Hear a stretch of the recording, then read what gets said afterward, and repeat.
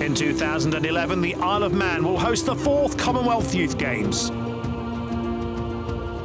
More than a thousand youngsters from various nations around the globe will come to our beautiful island to compete in seven sports.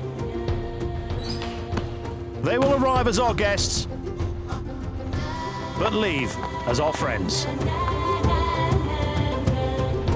The Isle of Man 2011, the home of the fourth Commonwealth Youth Games.